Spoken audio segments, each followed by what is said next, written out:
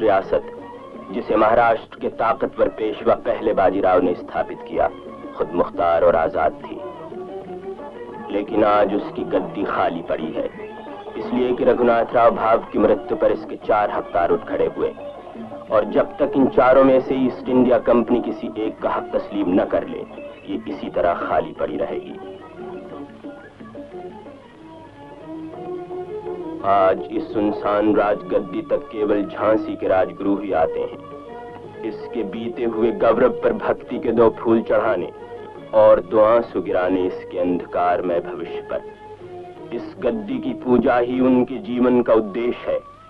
उनकी आँखें लगी रहती हैं इसकी पवित्रता की रक्षा पर, लेकिन उनके कान लगे हैं ईस्ट इंडिया कंपनी के फैसले पर। और कंपनी सरकार ने फैसला कर लिया है कि झांसी की राजगद्दी पर राजा गंगाधर राव का अधिकार है। और इस अहदनामे की रूह से उन्हें बाख्तियार वाली झांसी करार दिया जाता है। मुबारकबाद योर हाइनेस। और मेरी तरफ़ से भी मुबारकबाद कबूल हो महाराज। शुक्रिया कर्नल सलेमन। शुक्रिया सदाशिव। आर्टिकल सिक्स राजा गंगाधर राव वाली झांसी। इस बात का इकरार करते हैं कि वो अपनी रियासत में आज़ादी सुलह और व्यापार बरकरार रखने के लिए कंपनी सरकार की फौज को झांसी में रखेंगे।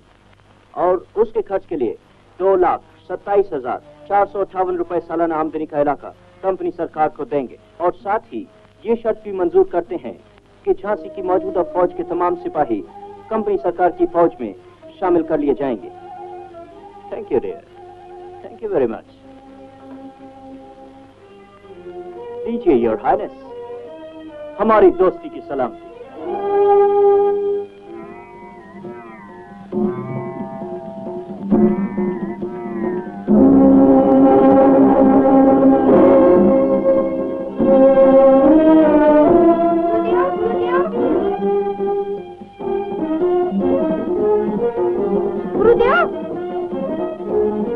क्या बात है तारा? किताब घर में फिर वही फिरेंगे अफसर।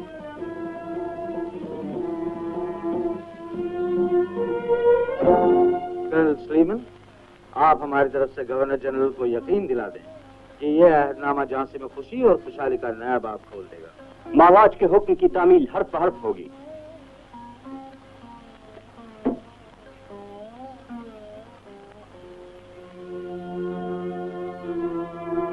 Your Highness, long live the King.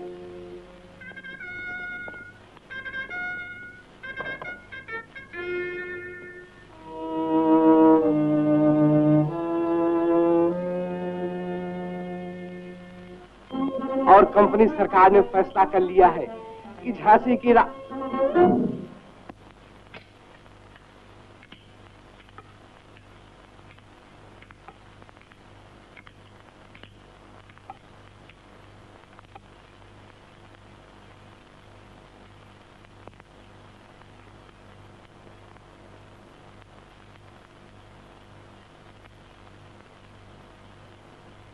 काश कि मैं दस्तखत के वक्त पहुँच जाता।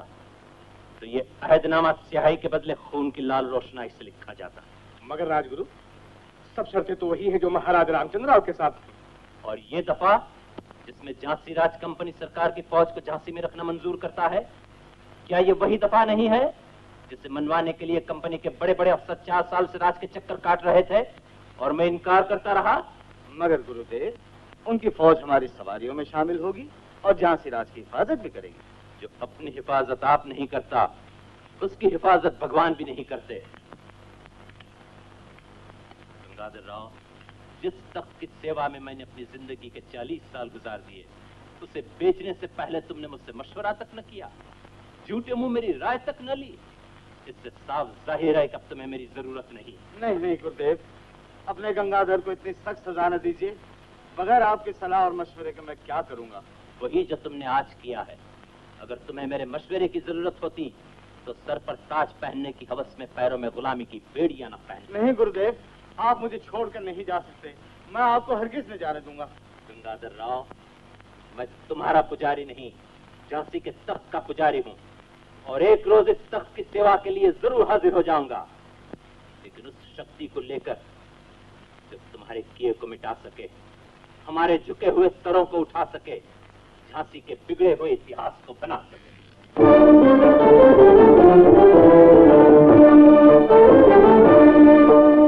राजगुरु ने झांसी छोड़ी ईश्वर का नाम। जन्मभूमि जब संकट में है, फिर कैसा विश्राम? राजगुरु ने झांसी छोड़ी ईश्वर का नाम। मंदिर गया, पहले मंदिर गया गाँव फिर पहुँचा मझधार। लहरे उधर नदी में थी, मन में इधर विचार। हाथी पर घुमा ले दिल बेचैन, वहाँ भी मनकार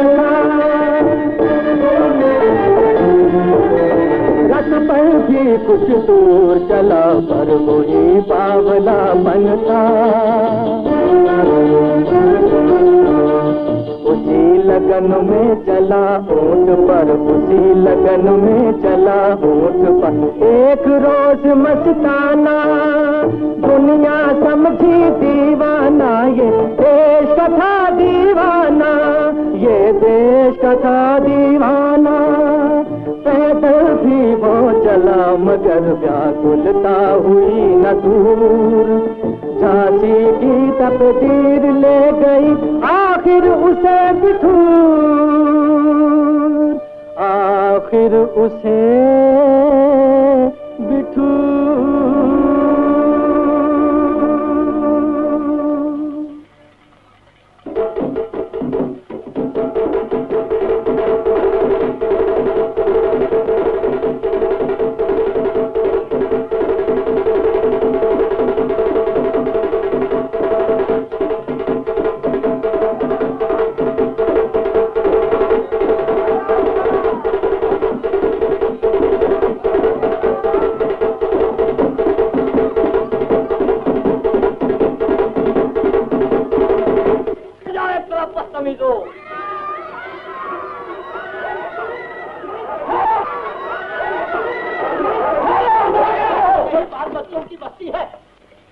Bloody idiot! मेरे पापा को क्या मारता है तुम वक्त कहीं हाँ या नहीं तो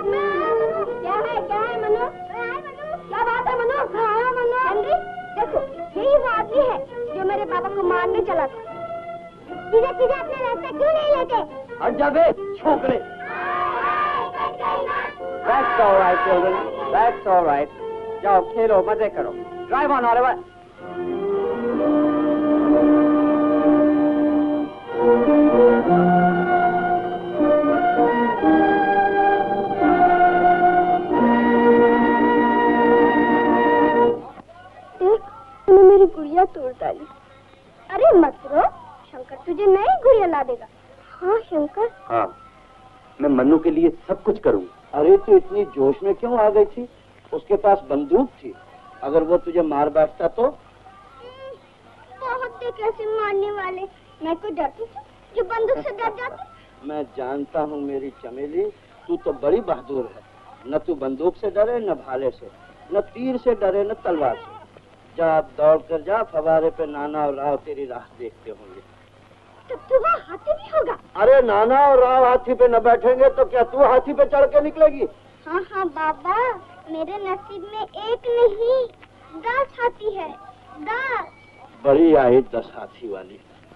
जन्म न देखा बोरिया सपने आई सोने की खाद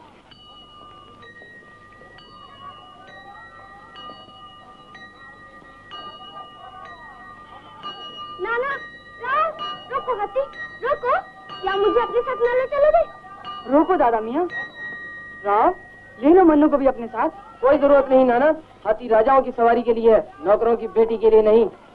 सवारी का ऐसा ही शौक है तो कोई गदा वदा खरीद लो अपनी हैसियत का। ये बात है। गजराज? राव ले लो मन्नू को भी अपने साथ कभी नहीं। हाथी आगे बढ़ाओ।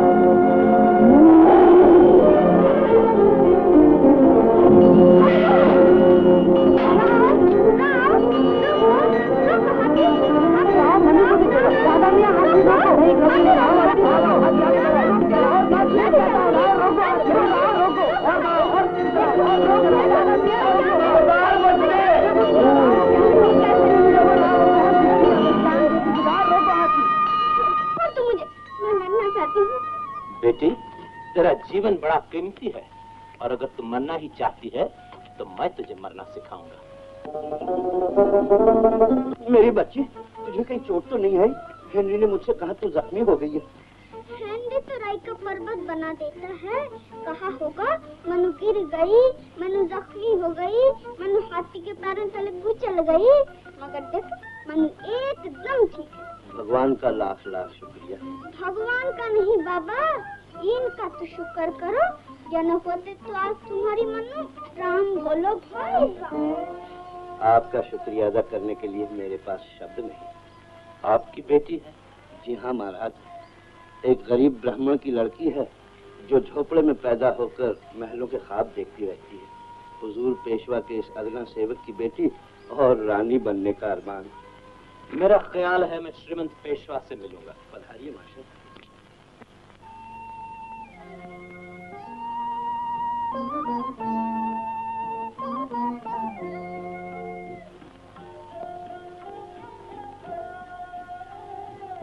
छबीली की कुंडली देखकर आप सोच में कैसे पड़ गए राजगुरु? ऐसी प्रतिभाशाली कुंडली मैंने आज तक नहीं देखी श्रीमंत। भाग्य में लक्ष्मी ज्ञान में सरस्वती और शक्ति में दुर्गा। सारी बातें एक ही कुंडली में इकट्ठी हुई हैं। हुआ करे मुझे तो ये बताइए मेरे हाथ में हाथी है या नहीं? नहीं तेरे हाथ में हाथी नहीं है। तेरा हाथ बहुत छोटा है। अलबत्ता तेरे भाग्य में बहुत से हाथी हैं। देखा बाबा मैं मैंने कहती थी। चलो ज़्यादा बातें न मना। भाग जा यहाँ से। आओ नाना आओ राव।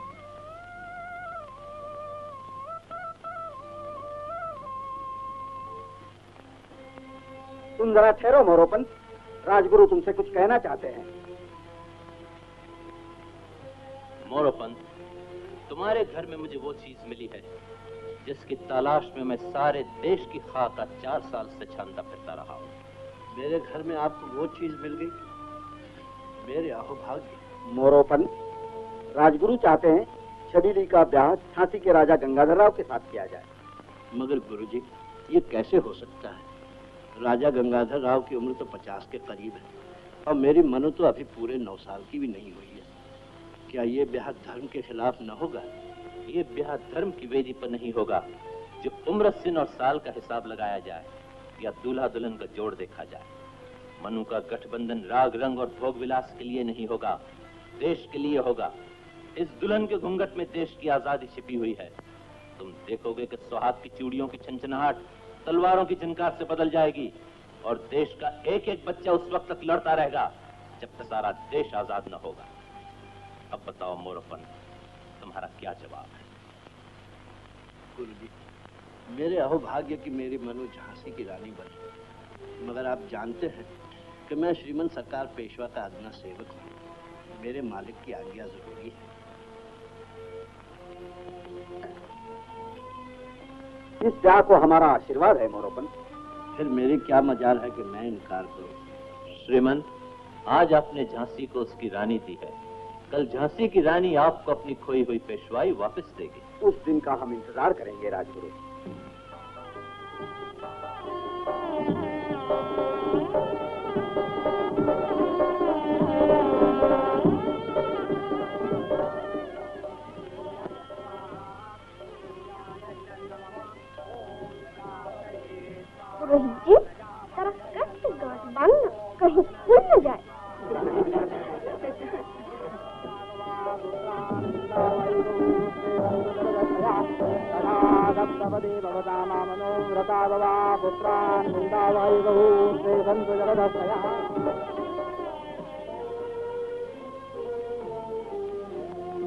मनु, अब तू छबीली नहीं रही बेटी। आज से तेरे नए जीवन की शुरुआत हो रही है। अपना कर्तव्य कभी न भूलना। पति की पूजा के साथ प्रजा के पालन का भी ज़रूर ख्याल रखना। पेशवाई की गोद में पली है हमें तुझसे बड़ी आशाएँ हैं। मैं आपको कभी निराश नहीं करूँगी बाबा। पेशवाई का सर हमेशा ऊँचा ही रहेगा। भगवान तुझे खुश रखे बेटी। ये लो मनु मेरे गैर हाजिरी में ये पिस्तौल तुम्हारी हिफाजत करेगी। तुम कितने अच्छे हो हेनरी। अच्छे प्रणाम। सबको प्रणाम।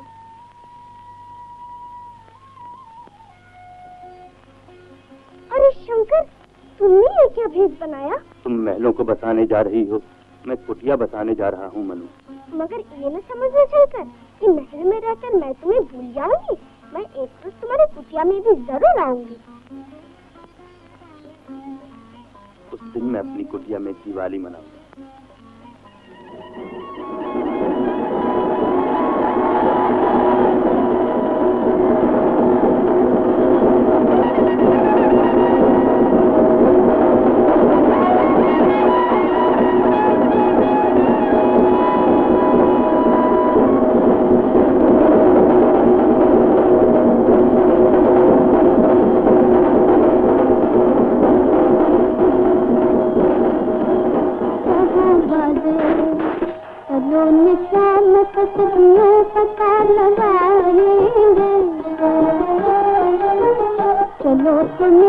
कभी तुमको ढूंढ लाएँगे। सुना के बांसुरी मोहन हमें दिखाएँगे सुना के बांसुरी मोहन हमें दिखाएँगे ओ श्याम, सुंदर रात रंग रचाएँगे। कुंज विहारी, कृष्ण मुरारी, कुंज विहारी कृष्ण मुरारी मैं तो बलाए तेरी सावरिया कहाँ बजे हाँ कहाँ बजे किशन कोई बांसुरिया कहाँ बजे जी जी है जी जी है जी जी सारी जी जी है जी जी है जी बहर आ आला मोतिया बुलला बहर आ राधिका मोतिया बुलला हाय फुलला फुलला फुलला हाय फुलला फुलला फुलला झिल झिलला राधक चांदना सुंदर झगमग तारे करती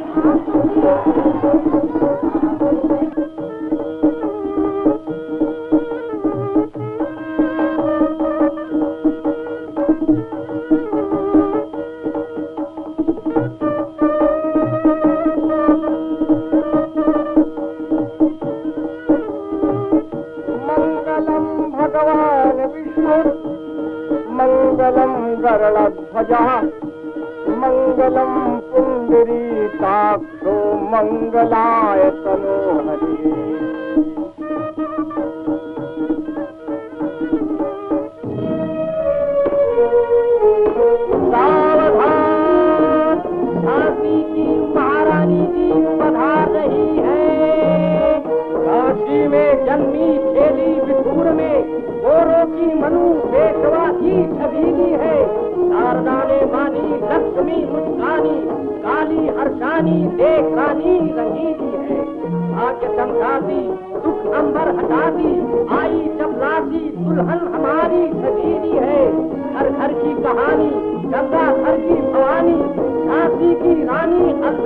है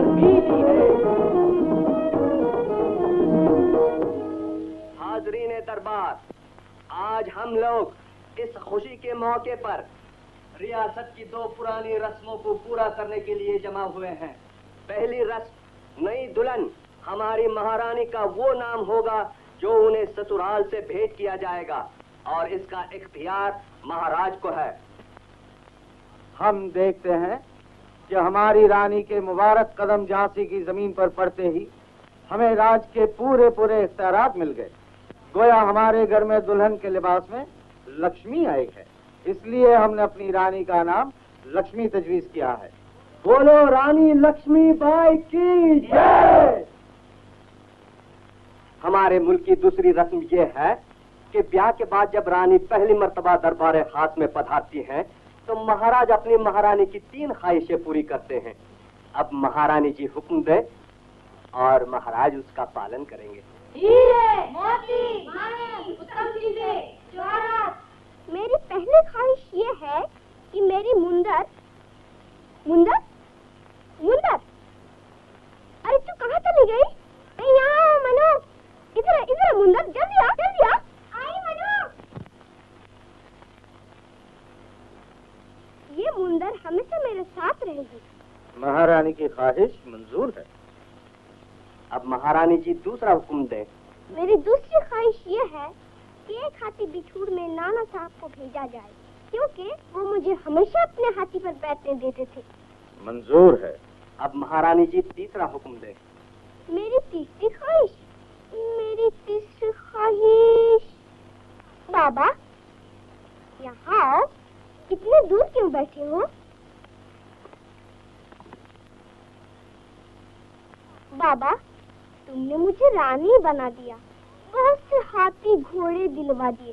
तो तुम भी कुछ मांग लो मेरी तीसरी ख्वाहिश ये है कि जो कुछ मेरे बाबा मांगे, इन्हें दे दिया जाए। आज मैं अपनी मनु को झांसी की रानी देखकर सब कुछ पा चुका महाराज।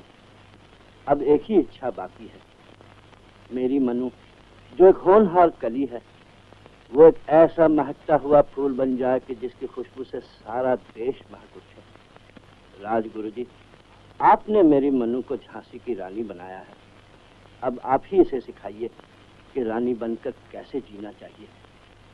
और ये भी कि रानी बनकर कैसे मरना चाहिए। महारानी की तीसरी ख्वाहिश भी मंजूर की गई।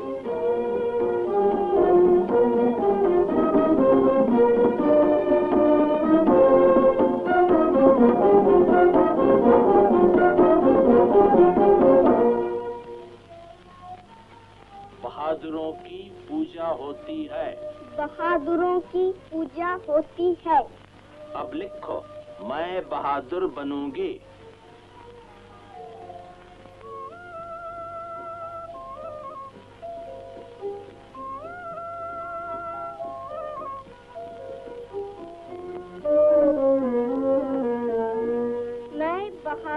अब तुम्हें हमारे भारतवर्ष का इतिहास पढ़ना है।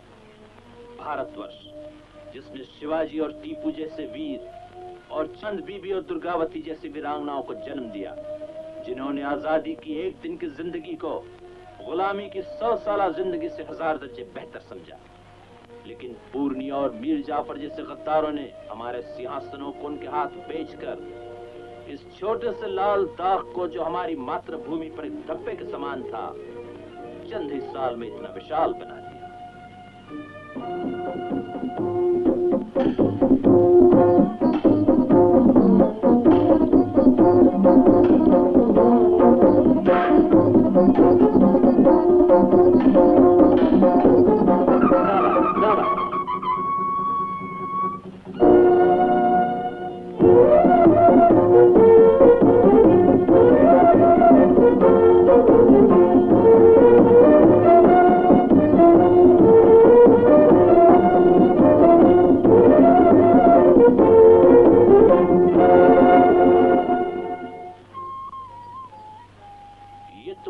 पढ़ाई का आखिरी साल है। इस साल मैं तुम्हें भगवत गीता का पाठ पढ़ाऊँगा। ये वो किताब है महारानी, जो इंसान को जीना भी सिखाती है और मरना भी सिखाती है। गीता में भगवान ने कहा है, तुम्हें केवल कर्म करने का अधिकार है, न कि उसके फल का।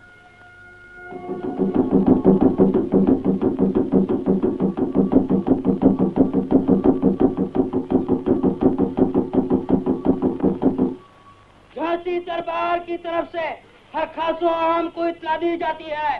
परमात्मा की कृपा से और राजगुरु की अनथक मेहनत से हमारी महारानी की तालीम अब खत्म हो चुकी है। और कल दरबार आम में हमारी महारानी अपने गुरु को गुरु दक्षिणा देंगी। झांसी के हर नर नारी, छोटे बड़े, अमीर गरीब, कल सुबह दरबार आम में पधारे और इस मुबारक रत्न की शोभा बढ़ाएँ।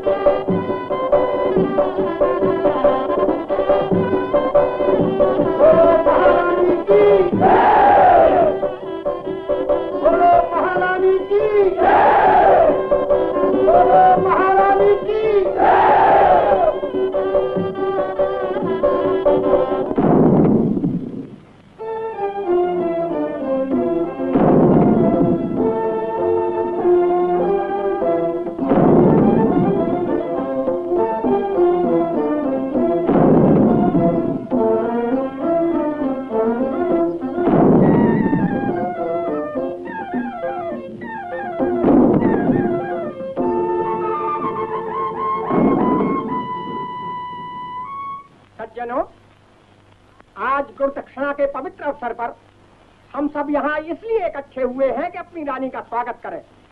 और राजगुरु के चरणों पर श्रद्धा के फूल चढ़ाएँ। महारानी जी, हमारे यहाँ सदियों से ये रीत चली आ रही है कि जो पढ़ता है, वो पढ़ाई खत्म होने पर अपने गुरु को दक्षिणा देता है और गुरु उसे आशीर्वाद देते हैं। इसी सदियों पुरानी रस्म को ताज़ा करते हुए महाराजाधिराज ने अपने जाति खजाने के ये तमाम बढ़िया जवाहरात इसलिए पेश किए हैं कि आप अपने गुरु का उचित सत्कार करें। साथ ही मुझे ये भी हुक्म दिया गया है कि अगर ये तमाम जवाहरात काफ़ी न हो तो मैं आपकी सेवा में शाही खजाने की कुंजिया भी पेश कर दूँ। हुक्म फरमाए महारानी जी। महाराज, मैं आपकी बेइंतहा शुक्रगुजार हूँ कि आपने मेरे नजराने को एक रानी की शान के मुताबिक बनाने के लिए कोई कसर उठा नहीं रखी, लेकिन ये सब अनमोल चीज़ें और झांसी राज का सारा खजाना भी वो कर्ज अदा नहीं कर सकता जो इल्म की सूरत में मुझे अपने गुरु से मिला है। तुमने बिल्कुल सच कहा रानी। इल्म एक ऐसी अनमोल चीज़ है जिसका बदला दुनिया की कोई दौलत चुका नहीं सकती। फिर भी गुरु को उनका अपना हक मिलना ही चाहिए। ज़रूर महाराज। गुरु को अपना हक मिलना ही चाहिए। गुरुदेव मैं जो नजराना अभी आपकी सेवा में पेश करूँगी वो इस बात का सबूत होगा कि आपकी दस साल की मेहनत बेकार नहीं गई और वो नजराना मेरी प्रतिज्ञा होगी।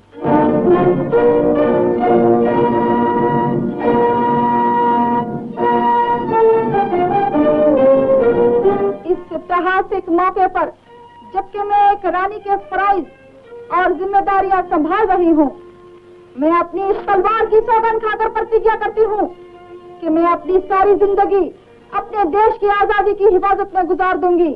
और दुश्मनों के उन हमलों का मुकाबला करती रहूँगी जो पूरब से हो या पश्चिम से, उत्तर से हो या दक्षिण से। सिर्फ़ इतना ही नहीं, अगर किसी वक्त भी अंदरूनी गद्दारों और बैरूनी हमलावरों की तरफ़ से देश की आज़ादी को कोई खतरा पहुँचा तो मैं सिर्फ़ अपनी जान ही नहीं लड़ा दूँगी, बल्कि उनसे मुकाबला करते हुए मैं अपनी ज़िंदगी की आखिरी सांस भी खर्च कर दूँगी। हर हर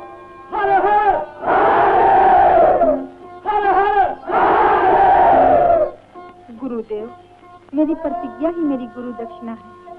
इसे स्वीकार कीजिए और आशीर्वाद दीजिए। वीर रानी, आज तक किसी गुरु को अपनी मेहनत का इतना बड़ा इनाम नहीं मिला।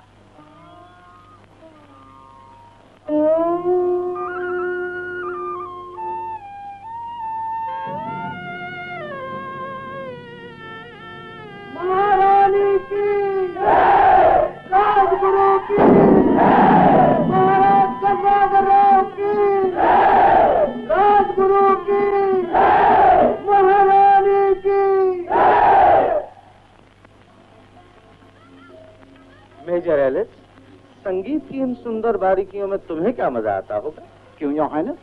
तुम्हारे कान तो तोपों की गड़गड़ाहट के आदि हैं, पायलों की छननन और घुंघरों की झनकार के नहीं।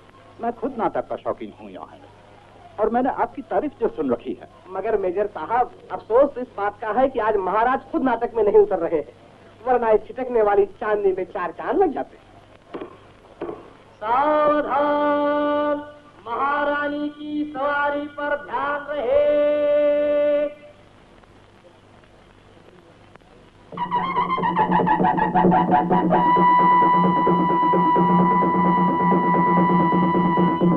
हम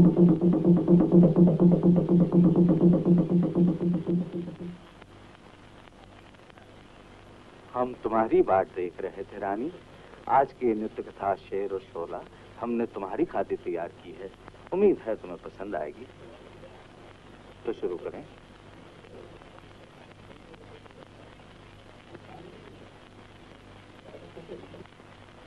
ॐ श्री गणेशाय नमः।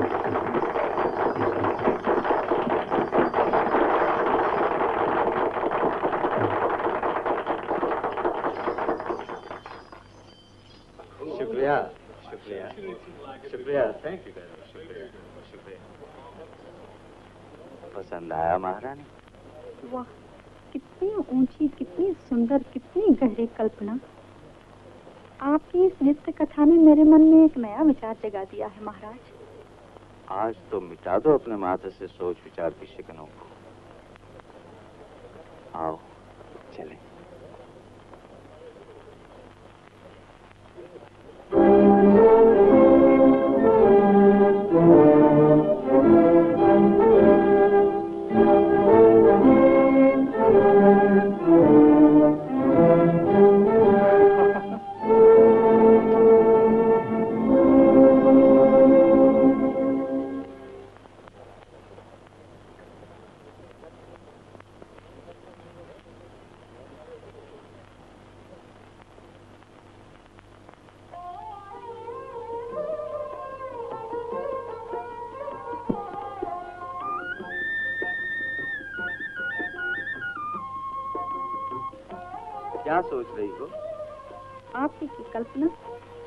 शोले की कहानी। शेर और शोला तो कोई चीज़ नहीं है रानी। अब की बार जो नृत्य कथा हम पेश करेंगे वो हमारी ज़िंदगी का बेहतरीन कारनामा होगा। मैं तो समझती हूँ शेर और शोले से बढ़ के नृत्य कथा तैयार करना आपके लिए भी मुश्किल है। गंगाधर राव के लिए ये बात जरा भी मुश्किल नहीं है रानी। तुम्हारा पति झांसी का तो सिर्फ़ राजा है लेकिन रंगभूमि का सम्राट है। मानती हूँ महाराज। हम तो समझते हैं नाटक जीवन ज़िंदगी का एक ज़रूरी अंग है। और तुम्हें भी रानी इसमें ज़्यादा दिलचस्पी लेनी चाहिए। हाँ महाराज आपको ये सुनकर ताजुब होगा कि मैं आपकी दिलचस्पी के लिए एक नाटक तैयार कर रही हूँ जो शायद हमारे जीवन में इनकलाब पैदा कर दे। सच? और हमसे चोरी चोरी क्षमा चाहती हूँ महाराज। तुम्हारा ये नाटक हमें देखने का मौका कब मिलेगा रानी? अब के महाराज की सालगिरह के दिन। तब तो हम उस दिन का बड़ी बेसब्री से इंतज़ार करेंगे।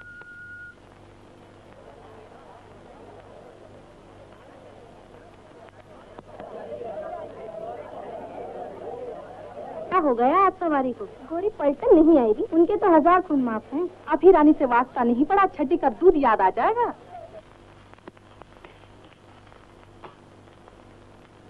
कैप्टन गॉर्डन हमारी रियासत में तुम अंग्रेज़ी फौज के कमांडर हो हसब मामूल आज जुलूस में अपनी फौज के साथ शामिल होने की इतला भी तुम्हें दी गई फिर क्या वजह है कि तुम अकेले आ रहे हो? देर से आ रहे हो और अपनी बंधन को अपने साथ लिए बगैर आ रहे हो। मुझे सिर्फ़ यह है और हाइनस कि आज इतवार है? और इतवार के दिन हम हमेशा छुट्टी मनाया करते हैं। मैं अपने सिपाहियों को इस दिन कमर कसने का हुक्म नहीं दे सकता।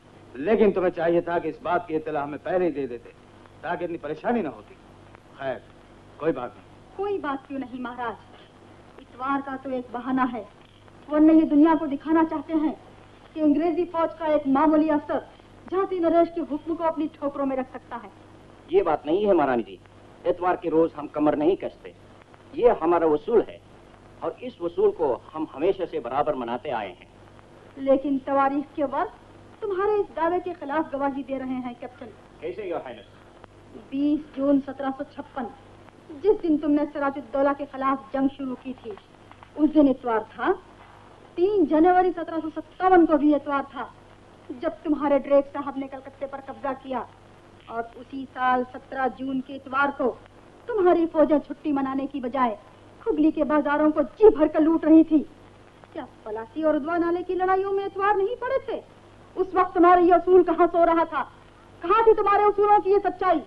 जिसका डंका पीट कर आज तुम झांसी नरेश के हुक्म से टक्कर लेने की कोशिश कर रहे हो। बेहद भी माफ़ हो योर हाइनस मेरी अर्ज़ तो यह है कि आज में कोई भाग नहीं खेलता। जंग के जमाने में दुनियावी असूल तो क्या? मजहबी उसूलों को भी मजबूरन छोड़ दिया जाता है। मानते हैं। अब हम ये जानना चाहते हैं कि मलका विक्टोरिया का जन्मदिन कौन सा चौबीस मई और हाइनस। और 1840 में 24 मई को इतवार ही था। उस दिन सिर्फ़ अंग्रेज़ी पलटन ही नहीं बल्कि बरतानिया का नौका दल भी कमर कस के मलका की सालगिरह के जश्न में शामिल हुआ था। तो फिर आज इतवार का बहाना करके तुम और तुम्हारी पलटन महाराज की सवारी में शामिल होने से कैसे इनकार कर सकते हो? मैं माफ़ी चाहता हूँ अपनी फौज के साथ सवारी में फ़ौरन शामिल हो जाओ। यही तुम्हारी माफ़ी है। मैं अभी अपनी फौज के साथ हाजिर होता हूँ।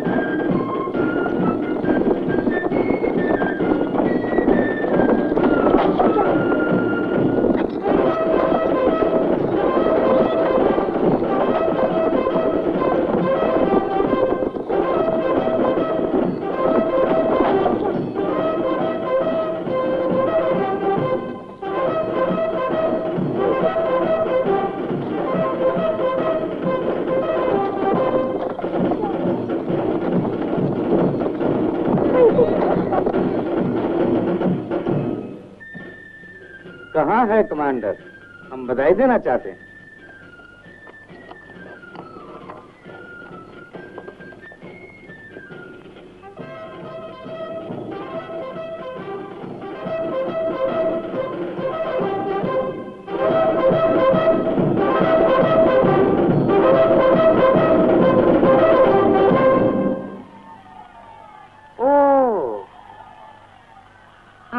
सेवा में महाराज। कितना हसीन जाल बिछा रही हो हमारे खिलाफ। बेबस मर्द शायद हमें गिरफ़्तार करना चाहती हो। आपके दुश्मनों को, महाराज।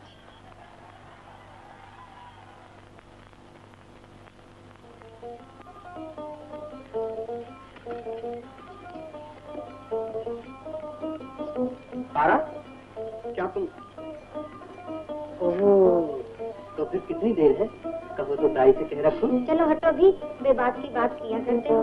बेबात की बात? और नहीं तो क्या? मुझे कुछ होता तो क्या तुमसे छुपा रखा? तो फिर ये कुर्ता टोपी? ये तो राजकुमार के लिए तैयार की है मैंने। ऐसी चीज़ बना रही हो कि अगर राजकुमारी हुई तो बेकार ही जाएगी। चुप रहो जी। ऐसी बातें क्यों मुझसे निकाल रहे हो? राई से भी कहीं पेट छुपा है? मैं रानी जी को देख कर आई हूँ। कुमार ही होगा। भगवान करे।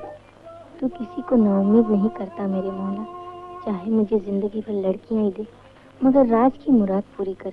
रियाया अपने राजकुमार को देखने के लिए बहुत बेचैन है। क्या खबर लाए हो? शहर के सभी लोग चाहते हैं कि लड़का हो। और तुम भी वही बात दोहरा रहे हो? सरकार, कहो लड़की होगी, कहो लड़की होगी। जी सरकार, लड़की हो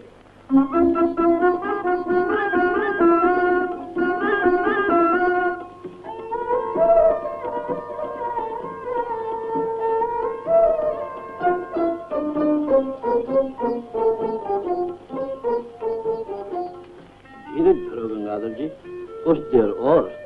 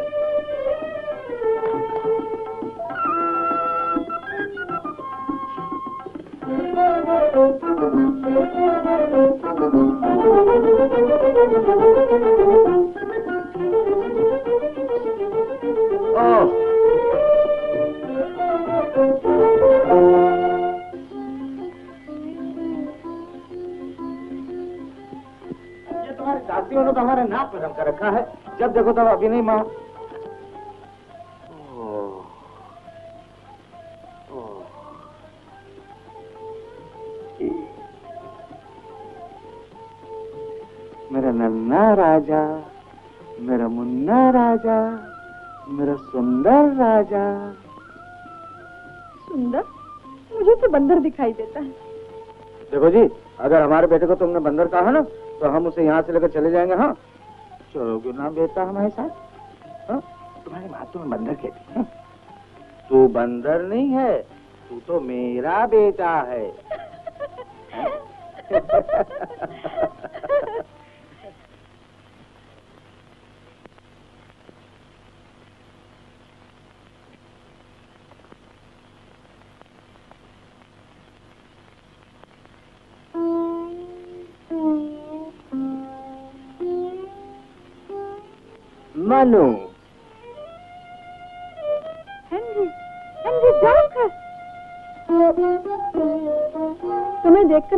बचपन याद आ गया बचपन के दिन याद आ गए।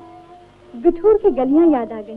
मैं तो समझा था मनु। ओ माफ़ कीजिए। योहानिस रानी बनकर आप मुझे बिल्कुल ही भूल गई होंगी। भला बचपन के साथी को कोई भूल सकता है हेनरी मैंने कई मरतबा तुम्हें याद किया।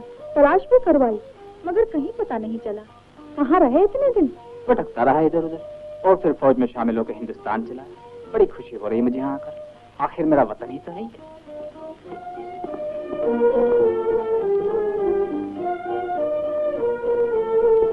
महाराज, ये मेरे बचपन के साथी हनरी हैं। अब लेफ्टिनेंट हनरी डाउकर नाना और राव की तरह ये भी मेरे साथ बिठोर में खेला करते थे। उस वक्त ये मेरे गहरे दोस्त थे।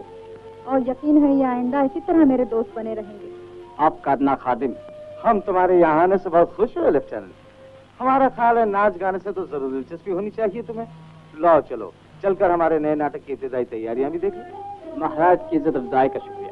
लेकिन एक घंटे के अंदर ही मुझे कमांडिंग अफसर को अपनी हाजिरी की रिपोर्ट देनी है। फौजी कानून की सख्ती से तो आप वाकिफ हैं। अच्छा अच्छा कोई बात नहीं। अपने कमांडिंग ऑफिसर से हमारा सलाम कह देना और जब कभी फुर्सत मिले आ जाया करना। इसे पहचानते हो अच्छी तरह। बिठूर से विदाई पर यही पिस्तौल मैंने आपको दिया था। जब मेरा राजकुमार बड़ा होगा तो ये पिस्तौल उसे दूँगी और कहूँगी कि तुम्हारे विलायती मामा की तरफ़ से। है ओह माफ़ कीजिए। राजकुमार के पैदा होने की मुबारकबाद देना तो मैं बिल्कुल ही भूल गया। काश उस वक्त मैं भी यहाँ होता। सुना है बड़ी खुशियाँ मनाई गई थी। कुछ न पूछो लेफ्टिनेंट। हमारी खुशी अपनी इंतहा पर पहुँच चुकी है। राजकुमार ने पैदा होकर हमारे दिल की सारी चिंताएँ दूर कर दी। अगर इजाज़त हो तो मैं अपनी बीवी के साथ राजकुमार को देखने आना चाहता हूँ। क्या तुम्हारी शादी हो चुकी है? जी हाँ योर हाइनेस। बधाई हो हनरी हम चाहते हैं कि जो रुखसत पार्टी हम कर्नल स्टीवन को दे रहे हैं उसमें तुम और तुम्हारी बीवी दोनों शरीक हों। ज़रूर ले आना अपने साथ। हम उनसे मिलकर बहुत खुश होंगे। योर हाइनेस मेरे पास अल्फाज नहीं है जो मैं आपकी जरा नवाजी का शुक्रिया अदा कर सकूँ।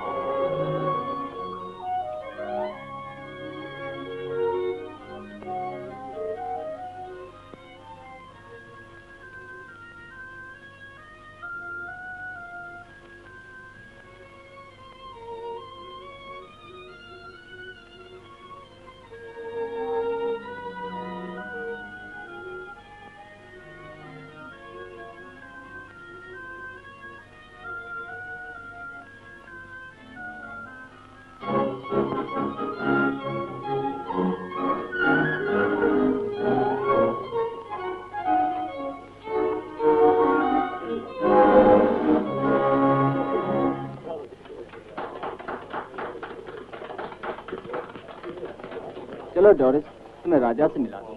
मुझे तो शर्म आती है हेनरी। कहाँ वो एक राजा कहाँ मैं क्या बड़े और क्या छोटे? उनकी नज़रों में तो सब एक है। कुंवर साहब की खबर ला दो जल्दी।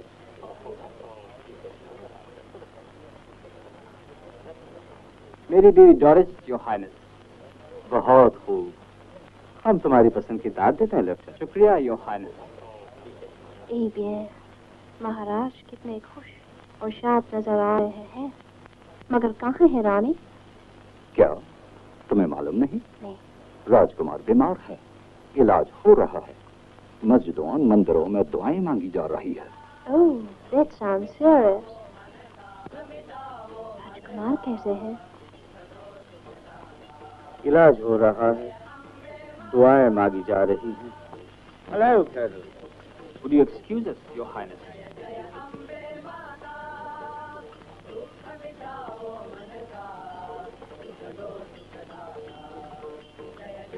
रानी की नारी सेना हमारे अहदनामे के खिलाफ है योर हाइनेस क्या रानी के मन बहलाने का एक खिलौना ईस्ट इंडिया कंपनी के लिए खतरे का बायस हो रहा है? नहीं योर हाइनेस नाटक में कभी कभी बोलने वाला ना कहता है पर देखने वाले उसे हाँ समझते हैं। मेरे ख्याल योर ओह राइट कर्नल अगर यही बात है तो हम महारानी से इसका ज़िक्र करेंगे। हम नहीं चाहते कि तुम्हारी सरकार और हमारी रियासत में कोई गलतफहमी पैदा हो। With your permission, Your Highness.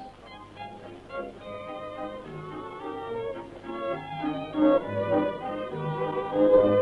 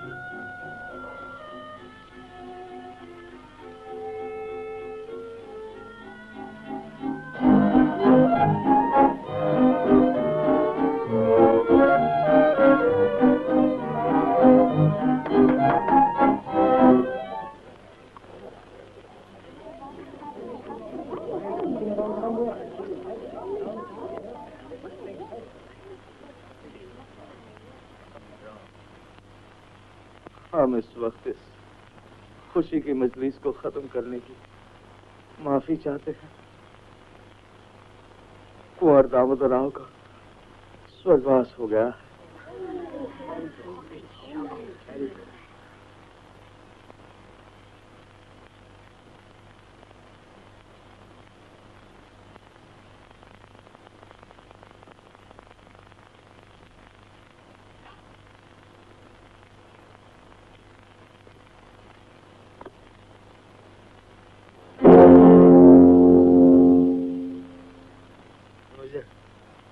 तसल्ली न दो रानी मेरे और तुम्हारे दोनों के लिए तसली अब खत्म हो चुकी दिल की हर धड़कन एक ही बात कह रही है कि अंतकाल आ गया आप इस तरह नाउमीद न होइए महाराज। ईश्वर पर भरोसा कीजिए। वो जो कुछ करता है अच्छा ही करता है। महाराज वो सब लोग आ गए। इजाज़त है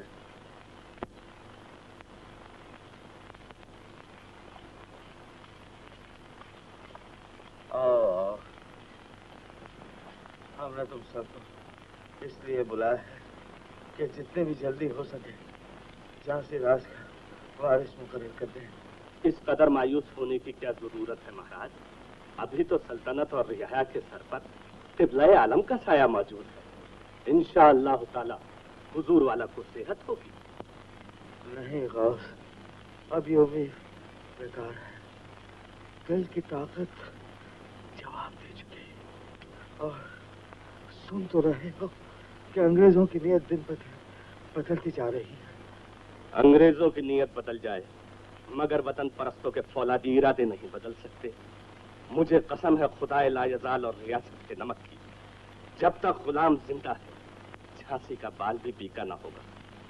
हम तुम्हारी वफादारी की कद्र करते हैं गौस लेकिन फिर भी मसलहत यही है कि हम अपने रिश्तेदार वासुदेव निवाड़कर के लड़के आनंदराव को गोद लें और उसका नाम अपने राजकुमार के नाम पर दामोदर राव रखें। मंत्री जी, बंसी, तुम सब जाओ और दत्तक लेने की रस्म जल्द से जल्द अंजाम दो। लेकिन याद रहे कि जो कुछ हो, शास्त्रों के अनुसार हो पॉलिटिकल एजेंट और दूसरे अफसरों की मौजूदगी में हो, ताकि बाद में गवर्नर जनरल को भी उस पर उंगली उठाने की ज़रूरत ना हो सके। और जब ये सब कुछ हो जाए हो जाए तो खुशियाँ मनाई जाए, झंडे लड़ाए जाए, और तोहफे दाग कर युवराज का स्वागत किया जाए।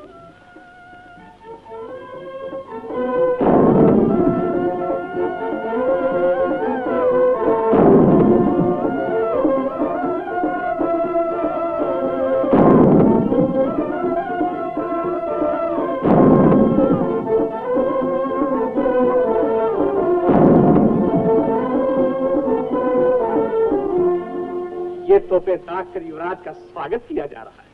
जी सरकार महाराज ने आनंदराव को गोद लिया है। ये सब उस रानी की शरारत है। लेकिन वो ये नहीं जानती कि एक म्यान में दो तलवार रखने का अंजाम बहुत बुरा होता है। मेजर एलिस दत्तक की रसूमात बाकायदा आपके सामने हुई है। इसलिए हमारे बाद दामोदर राव ही हमारी गद्दी के जायज़ वारिस हैं। और उसकी नाबालगी के जमाने तक हुकूमत की बागडोर हमारी रानी के हाथ में रह है। हमें आपकी दोस्ती से पूरी उम्मीद है कि आप इस खरीदे को अपनी सिफारिश के साथ गवर्नर जनरल को भेजकर इसे मंजूर कराने में कोई कसर उठाने रखेंगे। आप इत्मीनान रखिए योहानिस मैं अपनी तरफ़ से पूरी कोशिश करूँगा। शुक्रिया।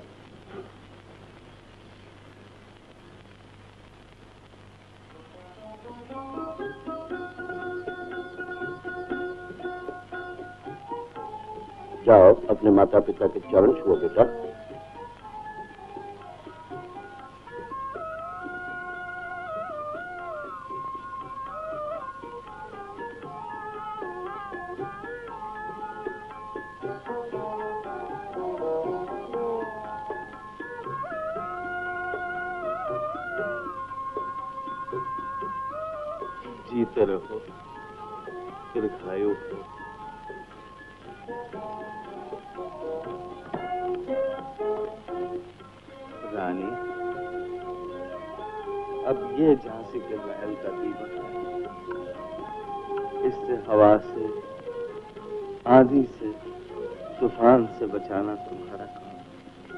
लेकिन याद रखो काका जी सदाशिव की हसतों का खून किसी के माथे का राज तिलक कभी नहीं बन सकता। और रानी को अब उस खौफनाक तूफ़ान का मुकाबला करना पड़ेगा जिसके आगे पहाड़ भी पत्थर बनकर उड़ जाते हैं। तेरी ये मजाल कि तू हमारे सामने हमारी रानी को धमकिया दे। सदाशिव। ये तो कुछ भी नहीं है काका जी। जरा मुझे सूरज डूबने का ये सुहाना मंजर तो देख लेने दीजिए। फिर नए सूरज की तेज किरणों की चुभन का हाल मैं रानी के दिल से पूछूँगा। चुप रहे बदतमीज बना महाराज महाराज।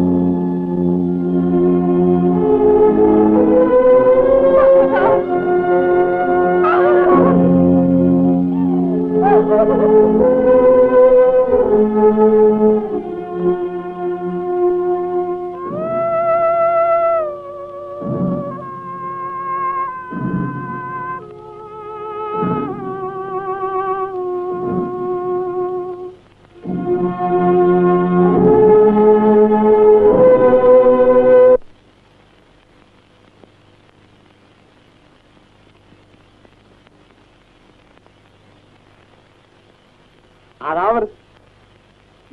कहा आरावर से मेजर साहब।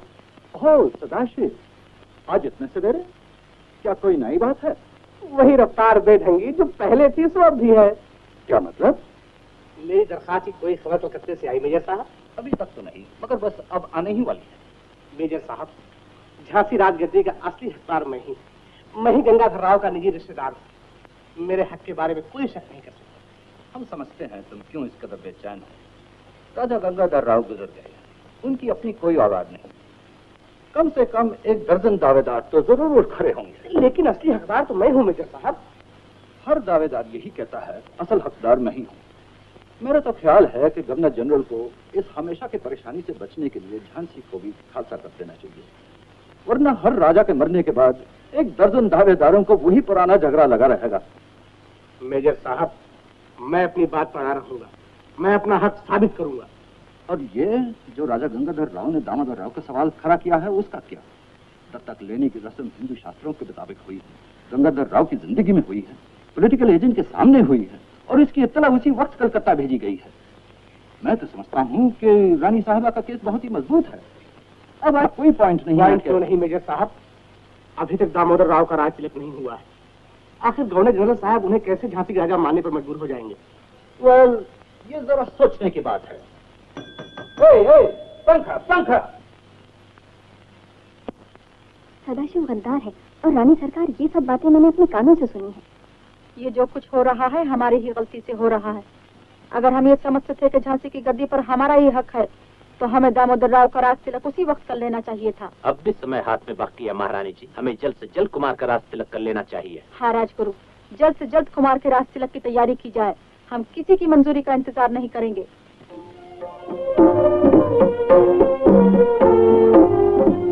झांसी राज के वफादारों, हमारे स्वर्गीय महाराज गंगाधर राव की वसीयत के मुताबिक और हमारी महारानी की आज्ञा से मैं पुरोहित जी से प्रार्थना करता हूँ कि वो इस दरबार आम में युवराज दामोदर राव के राज तिलक की रस्म अदा करें।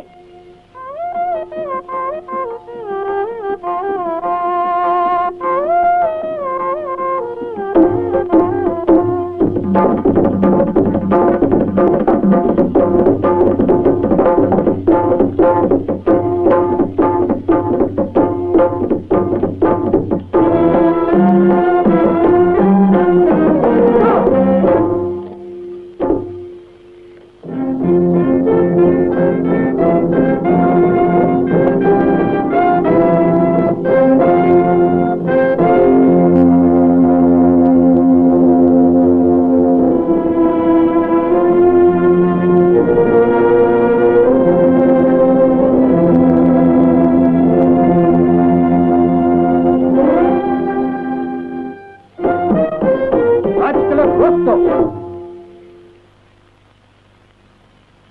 नहीं रुकेगा।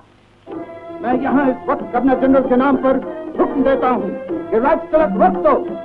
और मैं यहाँ इस वक्त झांसी की रानी लक्ष्मीबाई के नाम पर हुक्म देता हूँ कि तिलक की रस्म बराबर जारी रहे। मेरे पास governor general right honourable lord Dalhousie का ये फरमान है। राज तिलक की रस्म पूरी होने के बाद महारानी उस पर गौर फरमाएँगी। पुरोहित जी राज तिलक लगाइए।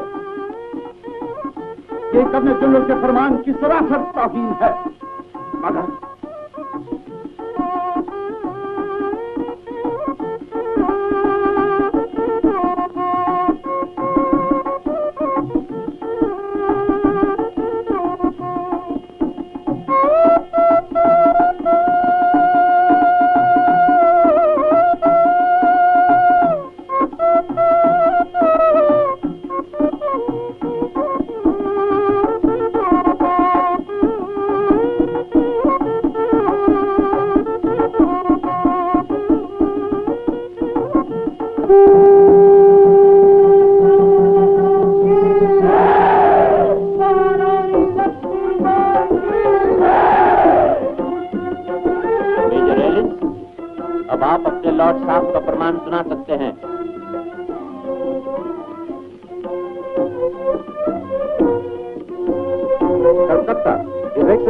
Right Honorable Governor General in Council का फरमान बनाम रियासत झांसी उन दावों की निस्बत जो आजहानी महाराज गंगाधर राव के नाबालिग दत्तक पुत्र अनंत राव जिनका दूसरा नाम दामोदर राव है और सदाशिव राव निवालकर जो अंजहानी महाराज गंगाधर राव का भतीजा है गवर्नर जनरल और उनकी काउंसिल के मुआजिज मेंबरान ने यह फैसला किया है कि झांसी राज पर दोनों दावेदारों का हक साबित नहीं होता और यह कि रियासत का आमन और रियाया का आराम और खुशहाली कायम रखने के लिए झांसी राज को खासा करार देकर अपनी हुकूमत में शामिल किया जाता है। मैं अपनी जाति नहीं दूँगी।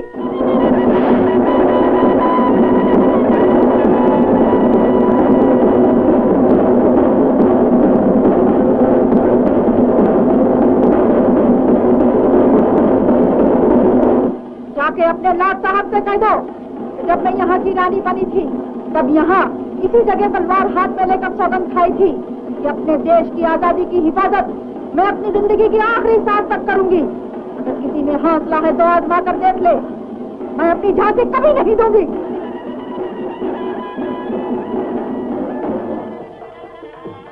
गुलाम गौस खान, मेजर एलिस की हिफाजत तुम्हारे जिम्मे है। रामचंद्र राव, राजकुमार की हिफाजत तुम करोगे। और रानी साहबा के लिए पाँच हज़ार रूपए महाना पेंशन देने के अलावा उनकी जाति जेवरात और शहर के राजमहल पर उनका हक कंपनी सरकार तस्लीम करती है। खजाने के रुपयों पर कंपनी सरकार का कब्जा होगा और दामोदर राव के बालिग होने पर उन्हें दिया जाएगा। इस फरमान के ज़रिए यह ऐलान किया जाता है कि आज से झांसी रियासत को कंपनी सरकार अपने कब्जे में लेती है।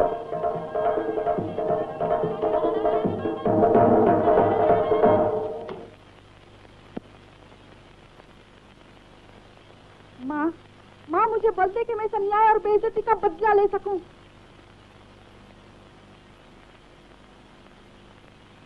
आज आप मेरे रास्ते से हट जाएँ गुरुदेव। तो क्या आज से तुम्हारा और मेरा रास्ता अलग अलग है? हाँ गुरुदेव। आपका विश्वास शब्दों पर है और मेरा कर्म पर। आप समझते हैं ज़िंदगी मौत है और मैं समझती हूँ कि मौत का नाम ही ज़िंदगी है। आप मंजिल के और बढ़ते नहीं खड़े खड़े सोचते हैं। मेरे पास सोचने के लिए वक्त नहीं। आपका कोई रास्ता ही नहीं। और यदि है तो वो राजमहलों और राजगद्दियों पर से बनता है। और तुम्हारा रास्ता? मेरा रास्ता? मैं अपना रास्ता जंग के मैदान से दुश्मनों को चीर कर बनाना चाहती हूँ। उन्होंने बारूद पर चिंगारी फेंकी है। मैं उसके धमाके से उनके पुर्जे पुर्जे उड़ा देना चाहती हूँ। चींटी अगर हाथी को ललकारे राय अगर पर्वत के मुकाबले पर आ जाए तो तुम उससे क्या कहोगी रानी? मैं उनकी हिम्मत की तारीफ़ करूँगी। अंजाम क्या होगा? कुछ भी हो मैं उसकी परवाह नहीं करती। तो यूँ कहो कि अंजाम से बेपरवाह होकर तुम राज के बहादुरों और जानिसारों की हिम्मतों को रौनती हुई खुदकुशी करना चाहती हो। तुम वतन परस्तों के उन सुनहरे सपनों को पामाल करने जा रही हो जिसकी ताबीर के इंतज़ार में वो अपना सर हथेली पर लिए खड़े हैं। गुरुदेव। इसलिए सैलाब में कूदने से पहले हमें उससे बचने का रास्ता ढूंढना पड़ेगा।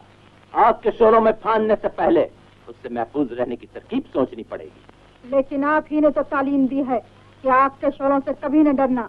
सैलाब की मौजों से न घबराना। और अगर मौत भी आए तो बिला खौफ मर जाना। बेशक मैंने ये तालीम दी है, और अब भी यही तालीम देता हूँ कि आपके शोलों में फान जाओ, लेकिन हाथ में पानी का फव्वारा लेकर। सैलाब में कूद पड़ो, लेकिन पहले पैर ना सीख लो। और मौत से हरगिज न डरो, लेकिन चींटी की मौत नहीं, शेर की मौत मरो, कि मरने के बाद मौत का अफसोस न रहे। लाओ, ये तलवार मुझे दो। आप इसे क्या करेंगे? मैं इसे लेकर मुल्क में आज़ादी के नारे लगाऊँगा मुल्क के सोए हुए शेरों को जगाऊँगा और इसमें वो ताकत पैदा कर दूँगा जो दुश्मनों का सिर्फ़ सिर ही नहीं बल्कि उनकी जड़ों को भी आसानी से काट सके। उस वक्त तक हम क्या करें? बर्दाश्त। आज वक्त तुमसे बर्दाश्त चाहता है और हमसे कोशिश। और अगर कोशिश नाकाम हुई तो? कोशिश कभी नाकाम नहीं हुआ करती रानी। हो सकता है कि नतीजा देर से ज़ाहिर हो।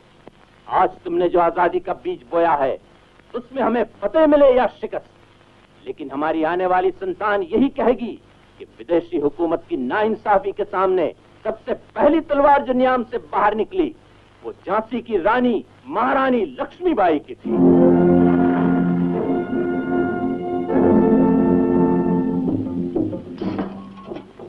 झांसी की रानी की तलवार के साथ आप लोगों ने अपनी तलवारें भी नियाम से बाहर निकालकर बात का अहद किया है कि अब ये तलवारें उस वक्त तक नियाम में नहीं जाएँगी जब तक कि हम अपना मकसद पूरा न कर लें। बेशक। मैं इस बात का अहद करता हूँ कि सूबा यावत को आज़ादी की जंग के लिए तैयार करूँगा। और यकीन रखिए कि बिहार में चंद्रगुप्त और अशोक की संतान अपने शानदार कारनामे फिर से दोहराएँगी। मैं इंशाल्लाह ताला आज़ादी की लहर से सुबह दहली कर खास शाम का दिल गरमा दूँगा। और मैं छत्रपति शिवाजी के महाराष्ट्र को साथ लेकर दुश्मन पर आंधी और तूफ़ान बनकर टूट पड़ूँगा। और मैं ज़िंदा दिलाने पंजाब को अपनी जान की बाजी लगाने पर आमादा करूँगा। ख्याल रहे कि हर सूबे में ये काम इंतहाई राजदारी के साथ अंजाम दिया जाए। अब हम आज़ादी की पहली जंग का निशान कमल और रोटी तजवीज करते हैं। इंसान अगर कोई जबान आसानी से समझ सकता है तो वो रोटी की जबान है। और कमल हमारी तहजीब की एक कामयाब तस्वीर है। हमें मंजूर है। तारीख दिन और वक्त का हम सब फैसला कर चुके हैं। आज़ादी की पहली जंग 31 मई इतवार को 11 बजे शुरू होगी। याद रहे इतवार 31 मई अठारह सौ सत्तावन। हमारा प्यारा हिंदुस्तान हमारा प्यारा हिंदुस्तान। इसी पर दे देंगे हम जान। हमारा प्यारा हिंदुस्तान, हमारा प्यारा हिंदुस्तान। इस हिमालय है भारत का। भारत का कमल दक्षिण मगरा मारवाड़ बंगाल बुझाए। छाती है झांसी आग लगी जब छाती में तो उठा एक तूफ़ान।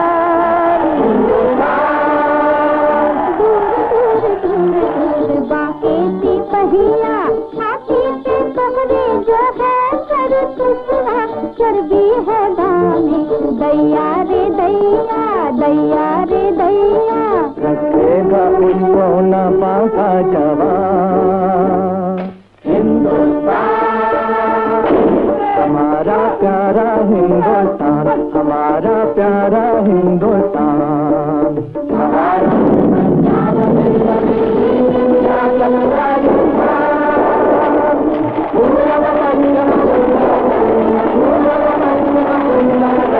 कर भारत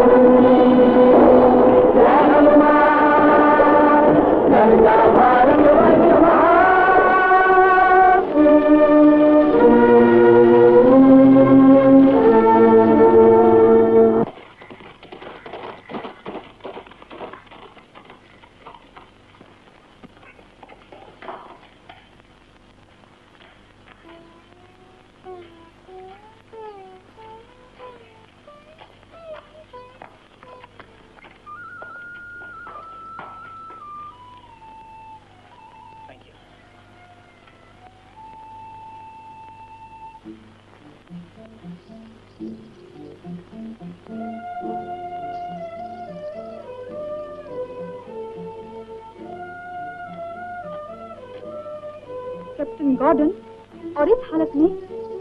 आपको तो मालूम है योर हाइनेस कि हर तरफ़ बगावत के शोले भड़क उठे हैं। हमारे सिपाही भी हमारे खून के प्यासे हो रहे हैं। बड़ी मुश्किल से छिपता छिपाता आप तक पहुँचा हूँ, ताकि इस मुसीबत में आप हमारी मदद कर सकें। काश कि मैं ऐसा कर सकती। लेकिन अंधा कुआँ प्यासे की प्यास नहीं बुझा सकता। कैप्टन जिस ढाल का तुम सहारा चाहते हो उसे तो तुम लोगों ने किसी काबिल ही नहीं रखा। अब ना तो वो तुम लोगों की जान ही बचा सकती है और न तुम्हारे किसी काम ही आ सकती है। हमें अपनी परवाह नहीं। हम तो अपनी जान पर खेल जाएँगे लेकिन हमारे बीवी बच्चे। उन सबको तुम सागर क्यों नहीं भेज देते? अब वक्त ही कहाँ है? इसीलिए तो आपके पास आया हूँ। कि आप कम से कम हमारे बीवी बच्चों को अपनी हिफाजत में ही ले लें। आज तक हमारे दरवाजे से कोई निराश नहीं लौटा और हम तुम्हें भी निराश नहीं लौटाएँगे कैप्टन। जाओ उन सबको सुरंग के रास्ते हमारे महल में भेज दो। मैं आपका यह एहसान मरते दम तक नहीं भूलूँगा जो हाइनेस। काशी हमारे दस्ते की हिफाजत में कैप्टन गॉर्डन को स्टार पोर्ट तक पहुँचा दिया जाए। इतनी देर हो गई। और कैप्टन गार्डन रानी के यहाँ से वापस नहीं आया। उसे जाना ही नहीं था वहाँ फजूल है रानी से मदद की कुछ उम्मीद रखना। लेकिन वो क्यों हमें मदद देगी? और अगर दे भी दी तो कोई नहीं जानता कि उसकी नीयत कब बदल जाए। क्या तो किले से बाहर निकालने की एक चाल होगी। डार्लिंग तुम्हें तो मालूम है कि हमारी मदद से इनकार कर दे पर हमें धोखा कभी नहीं दे सकती।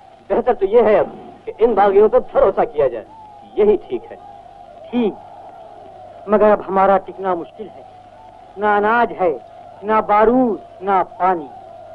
तो अब बागियों की इतात मान लो। आखिर वो हमारे ही तो आदमी हैं। कुछ तो ख्याल करेंगे हमारा। अगर सबकी यही राय है तो मैं जाकर सुलह का झंडा बुलंद करता हूँ। किले का मुहासरा कर लो। रस्सियाँ लेकर तैयार हो जाओ। सीढ़ियाँ ले आओ। तख्तों के तले उठा लाओ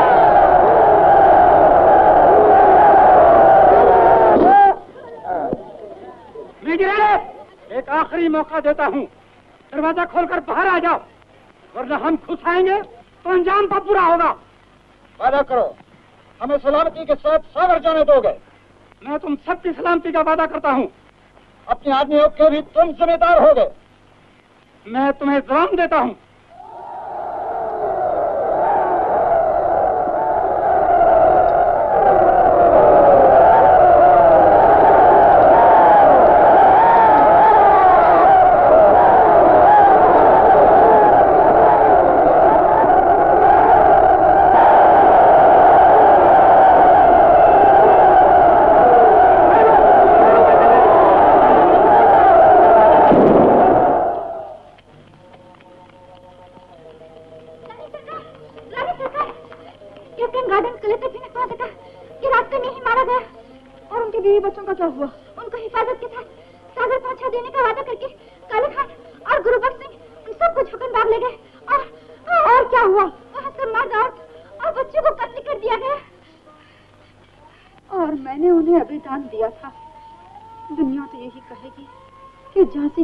बेगुनाह और मासूम बच्चों को फरेब से कत्ल करा दिया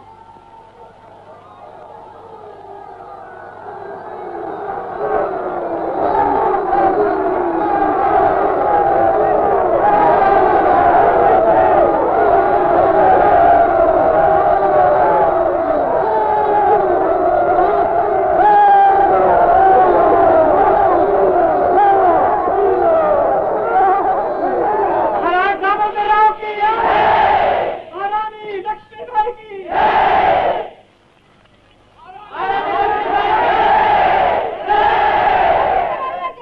के नारे और तुम अपनी काली सूरत हमें क्यों दिखाने आए हो काले खान इसका जवाब दो हमने आपकी झांसी को आज़ाद करा दिया और जो आप पर जुल्म किए गए थे, उसका बदला ले लिया। अब आप हमारी राहबरी कीजिए और हमें हुक्म दीजिए कि हम आगे क्या करें।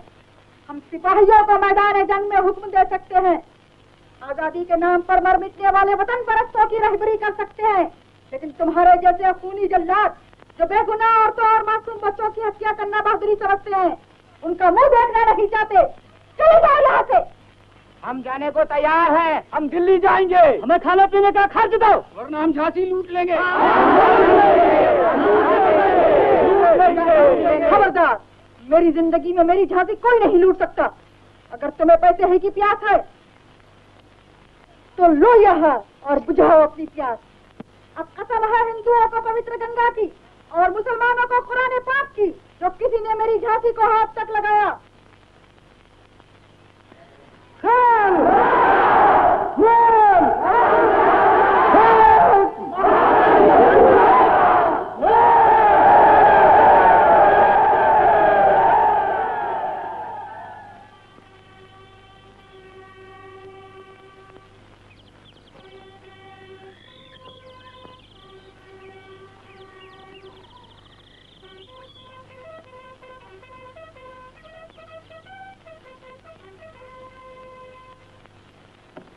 Gentlemen, General Sahil Rose.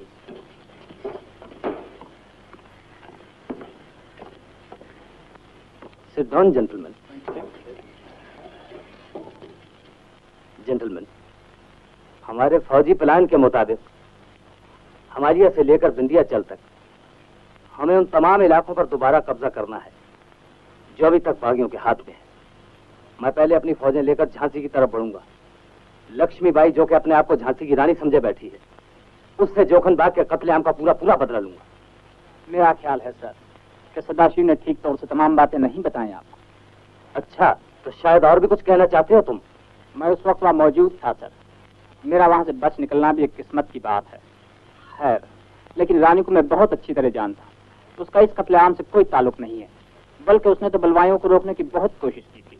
तो डॉक्टर साहब शायद ये भी बता सकेंगे कि लक्ष्मीबाई ने सवा लाख रुपए का हार उन बलवाइयों को जिन्होंने अपने हाथ अंग्रेज़, मर्द, औरत और बच्चों के खूने नाहक से रंगे थे, कि सेवा के बदले में दिया। बच्चा, बस अब और सबूत की ज़रूरत नहीं। ब्रिगेडियर स्टुअर्ट, तुम जबलपुर की तरफ़ से बढ़ो और वहाँ के सूबों को पता करते हुए हमसे आकर मिलो। मुझे यकीन है आज से दो हफ़्ते के बाद हम ज़रूर झांसी में मिलेंगे।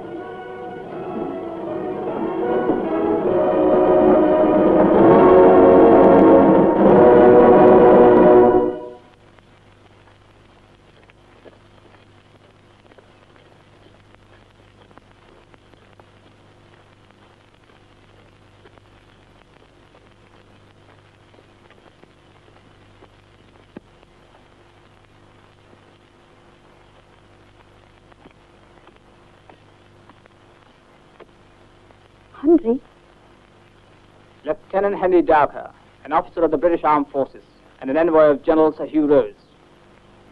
Well officer जो कहना है वो तुम कह सकते हो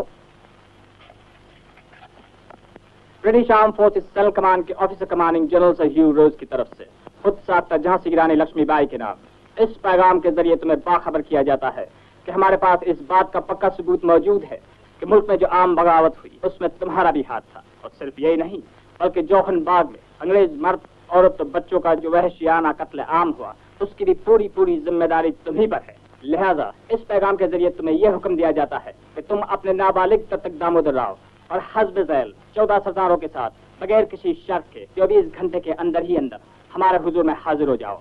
अगर मुकर्र किए हुए वक्त के अंदर तुमने हमारे इस हुक्म पर अमल नहीं किया तो हम अपनी पूरी ताकत के साथ झांसी पर हमला कर देंगे और शहर की ईद से ईद बजाते हुए तुम्हें ज़िंदा मुर्दा गिरफ़्तार कर लेंगे। खामोश अफसर! अपने कमांडर से जाके कह दो। ये पैगाम हमारे नाम है। ये हमारे commanding officer general sir Hugh Rose की तरफ़ से।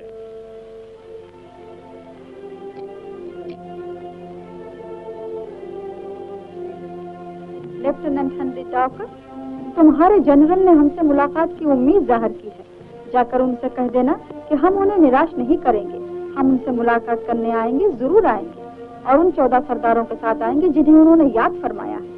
बल्कि हमारे साथ और भी वो सब होंगे जिन्हें बुलाना वो शायद भूल गए हैं। हमने मुलाकात की जगह भी तजवीज की है और वो जगह लड़ाई का मैदान होगी। ये बात भी जाकर उनसे ज़रूर कह देना कि उन्होंने लोहे के चने चबाने की कोशिश की है। ताजुब नहीं जो दांत बाहर निकल आए। और इस हथकड़ी का जवाब हमारे जनरल गुलाम गौस खान देंगे।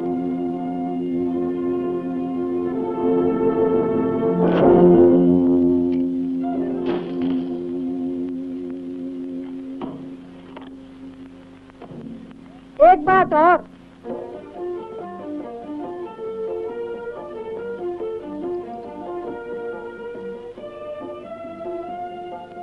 हमारी तरफ़ से ये तोहफा अपने जनरल को देना और कहना कि जब लड़ाई में बारूद खत्म हो जाए तो इससे काम लें।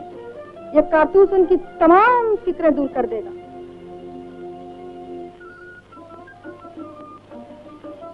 मुझे तुम पर फख्र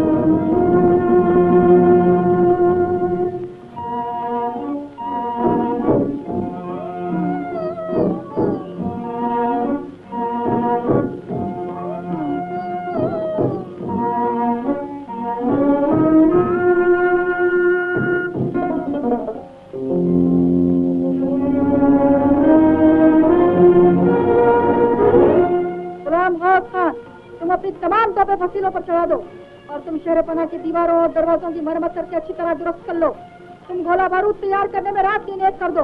तुम नौजवानों को फौज में भर्ती करो और तुम शहर बना के बाहर तो तमाम खेत, बाग, घास फूस जलाकर राख कर दो, ताकि दुश्मनों को किसी तरह की मदद न मिल सके। हाँ, हाँ, हाँ।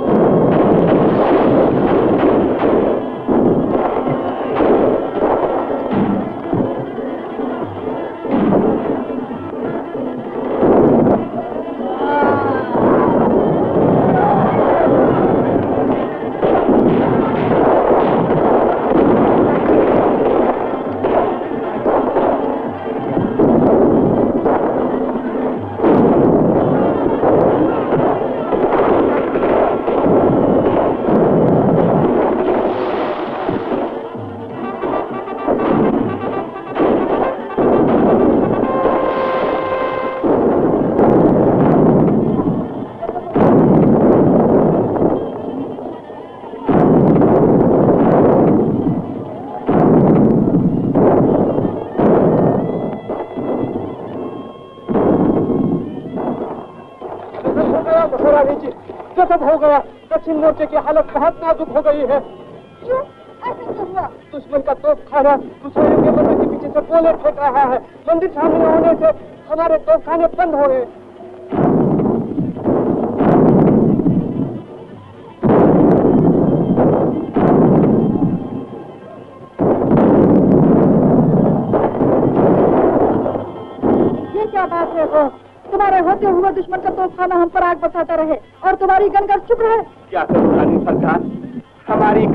कामयाबी के बीच में हमारा ही खुदा आ गया है। अगर मैं इसे चलाता हूँ तो क्या होता है? तो मंदिर टूट जाने का डर है। हाँ, तुम अपना फ़र्ज़ पूरा करो। भगवान तुम्हारी लाज रखेगा। ये बात है माँ तो खनकर ज़रूर कर देगी। लेकिन ताला खुदा के घर की एक ईट न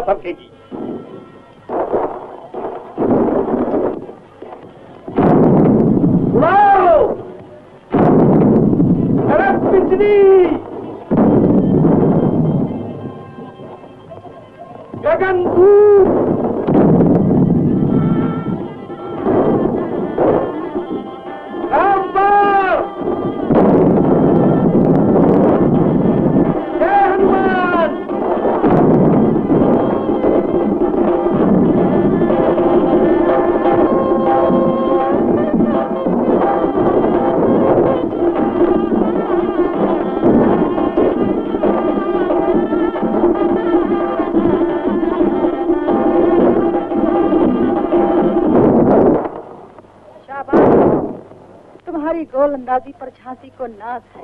नहीं माँ। ये चमत्कार आप ही के भरोसे का नतीजा हाँ। सदाशिव मैं तुमसे कह रहा था कि मंदिर की तुम्हारी राय ने कोई फ़ायदा नहीं पहुँचाया। छह दिन और छह रातें बेकार गई। सैकड़ों आदमी मारे गए। शर्म की बात जनरल अगर राजगद्दी मिलने का यकीन हो जाए तो ज़रूर ज़रूर वो तुम्हारी ही है। लेकिन तुम ये नहीं समझते कि राजगद्दी तक पहुँचने के लिए शहर पनाह की दीवारों से टकराना और फिर महल से गुजर कर राजगद्दी तक पहुँचना कितना मुश्किल काम है। फिर भी हम तुम्हें आखिरी मौका देते हैं। लेकिन शर्त यह है कि राजगद्दी तक पहुँचने में तुम हमारी मदद कर सकते हो। अगर ये बात है तो मैं कोई कोशिश उठा नहीं रखूँगा। आपके आदमियों को ओछा दरवाजे तक पहुंचाना मेरे जिम्मे रहा मेरे साथी वहाँ मौजूद हैं।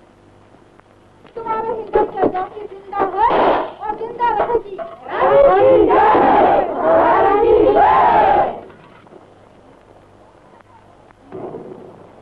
आज रात ओरछा दरवाजे पर तुम्हारा पहरा है जी सरकार। मेरा इशारा पाते ही दरवाज़ा खोल देना। बहुत अच्छा। लो। ये पेशगी झांसी की गद्दी मिलने के बाद तुम्हें माला माल कर दूँगा। भगवान श्रीमंत को छत्रपति बनाए।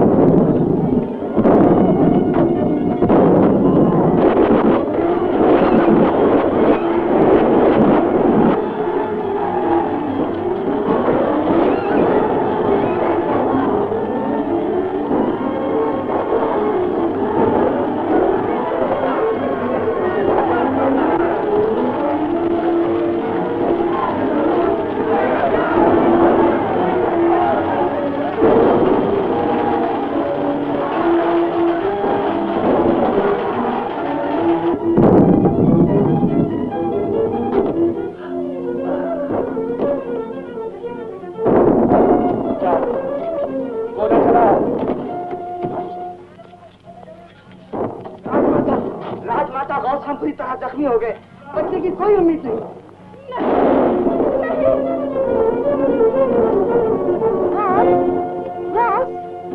खुदा हाफिज माँ। थोड़ी देर और रुक जाओ। चल चलाओ का वक्त है। साथ ही चलेंगे। लाचार गौस अपनी माँ का हुक्म मानने से मजबूर है। मुझे माफ़ करना माँ। मेरी एक आखिरी तमन्ना है। कहो ज़रूर पूरी की जाएगी। माँ मेरी कब्र इस किले में बनवाई जाए, ताकि कयामत के रोज मैं अपने प्यारे वतन झांसी से उठूं। झांसी! जिंदाबाद!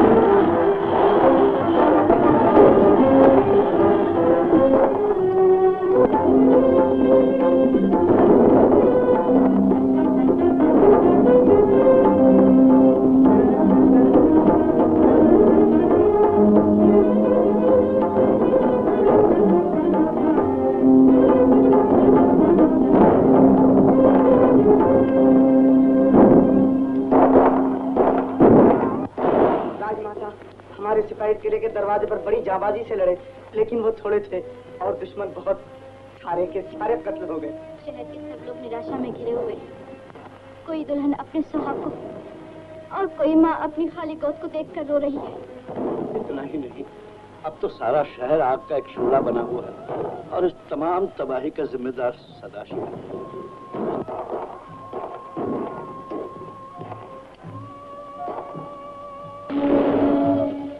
अब तो सब कुछ खत्म हो गया। जब झांसी जल रही है तो झांसी की रानी क्यों बची रहे? उसे भी जल जाना चाहिए। काशी चिता पे याद करो। गुरुदेव सच बताइए, क्या है नहीं, आपके हाथ में टूटी हुई तलवार आपके टूटे हुए हौसलों का पता दे रही तलवार के टूटने से बहादुरों के हौसले नहीं टूटा करते लेकिन मुझे तो यहाँ कुछ और ही नज़र आ रहा है। ये तुम क्या करने जा रही हो? वही जो हिंदुस्तान की बहादुर रानियाँ उम्मीद और आस टूटने पर किया करती है। नहीं मालूम था कि बचपन में हाथी से मुकाबला करने की हिम्मत रखने वाली मनु तिनके की हैसियत में रहकर पहाड़ से टक्कर लेने का हौसला रखने वाली लक्ष्मीबाई वक्त की शक्तियों से डरकर यूँ हिम्मत हार बैठेगी। गुरुदेव जाने सास हाथी की छड़ गए। राज के वफादार बहादुर अपनी बहादुरी की दाद देते हँसते खेलते चल बसे। झांसी चल रही है। अब हिम्मत बांधूं तो किस उम्मीद पर? कालपी कालपी में नाना और राव अपनी फौज के साथ तैयार बैठे हुए हैं। तुम अपने बचे हुए बहादुरों के साथ फ़ौरन कालपी पहुंचो और उनकी मदद से एक बार फिर झांसी की आज़ादी की जंग शुरू कर दो। आज़ादी? झांसी की आज़ादी? क्या हो सकता है? तो मैं ज़रूर जाऊँगी। अब क्या आप भी हमारे साथ चलेंगे? काश कि मेरे कंधे इतने मज़बूत होते कि मैं इस तख्त को अपने साथ उठा कर ले चलता। लेकिन ये तख्त अपनी जगह नहीं छोड़ सकता और मैं इस तख्त को नहीं छोड़ सकता। तुम अपना फ़र्ज़ पूरा करो मैं अपना फ़र्ज़ पूरा करूँगा। तो आशीर्वाद दीजिए गुरुदेव फिर शायद हमारी मुलाकात न हो। भगवान तुम्हें सफल करे। ऐसा जीवन पाओ जिसे मौत भी न मार सके।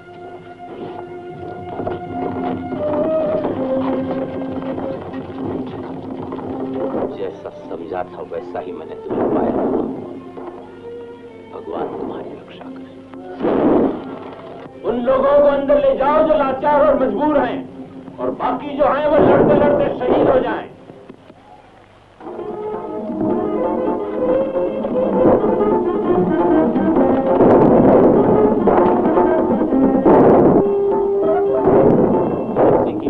पवित्र राजगद्दी। कोई अपवित्र हाथ तुम्हें छू न सकेगा। कोई देश कभी तुम्हारे नज़दीक नहीं आ सकेगा। साठ साल तक हम एक साथ साथ रहे हैं। आज भी हम साथ विदा होंगे।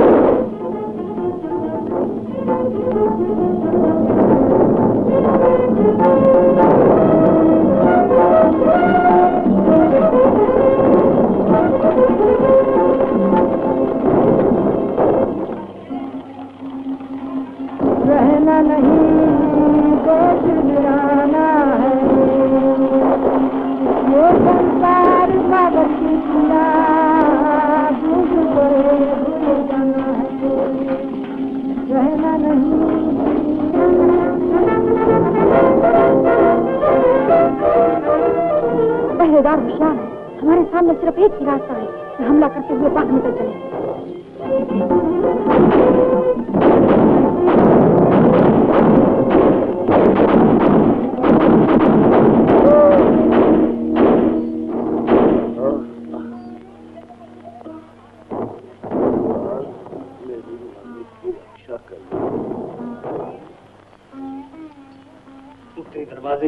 की गलती को दुरुस्त करना ही पड़ेगा। डॉक्टर, तुम अपने साथ चंद बेहतरीन सवार लेकर इसी वक्त जाओ और उस औरत को मुर्दा या ज़िंदा वापस ले आओ। बहुत अच्छा। कल पी से राजगुरु जी को खबर आई? जी ना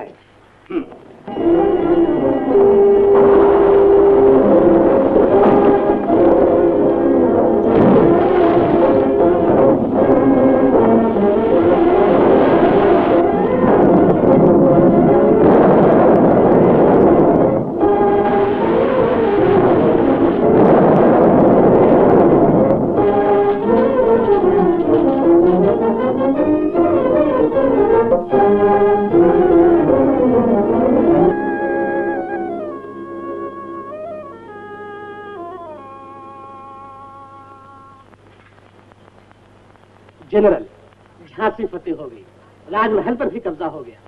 अब मैं आपके पास अपने हक का मुतालबा करने आया हूँ। लेकिन राजगद्दी तो जल गई सदाशिव। तो क्या हुआ? इसके साथ तुम्हारा हक भी चल गया। लेकिन मैं अपना हक हासिल किए बगैर नहीं रहूँगा। अब भी मेरे पास काफ़ी से ज़्यादा फौज मौजूद है जो तुम्हारे लिए मुसीबतों के पहाड़ खड़ी कर सकती है। तो हमारे पास भी तोपे हैं सदाशिव। हम पर किसी की धमकियों का असर नहीं हो सकता। और तुम्हारी धमकियों का तो बिल्कुल नहीं जबकि हम तुम्हारे काम की पूरी पूरी कीमत अदा कर चुके हैं। जनरल राजगद्दी का असली हकदार मैं हूँ और मैं नहीं रहूँगा। खैर सदाशिव, अगर यही तुम्हारी जिद है तो खैर, कैप्टन, ले जाओ इन्हें और बिजली की तेज़ी के साथ वहाँ पहुँचा दो जहाँ राजगद्दी पहुँच चुकी है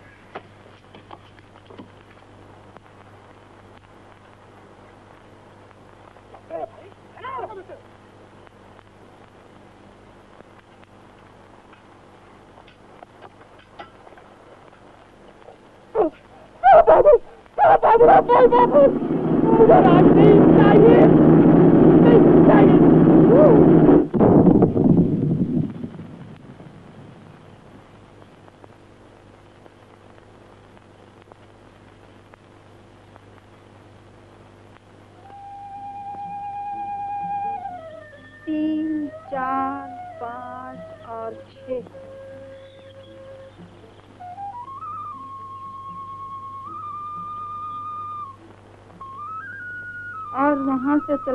हम कुल चौबीस थे।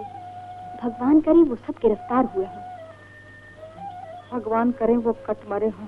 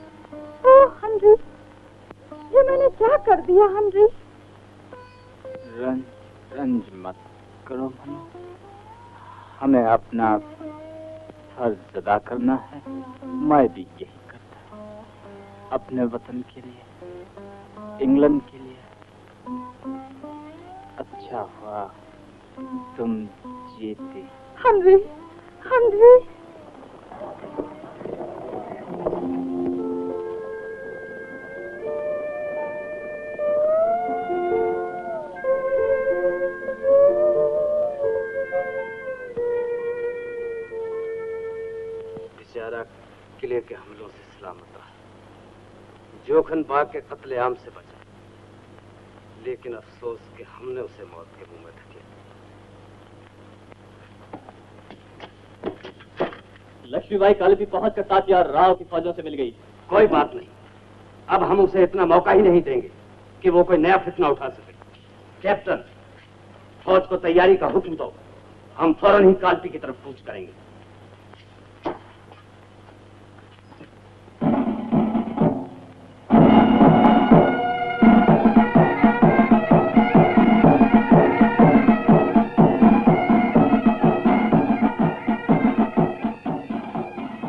और इस तरह जनरल सरहिरोज की फौजी रानी का पीछा करती रही। रानी को कालपी छोड़कर गोपालपुर में पनाह लेनी पड़ी। गोपालपुर से बढ़कर उन्होंने ग्वालियर पर कब्जा कर लिया। जहाँ राव साहब बजाय इसके किरानी की बातों पर ध्यान देते। चाहे जमाना करवटे बदलता रहे दिल मचलता रहे शराब का दौर चलता रहे।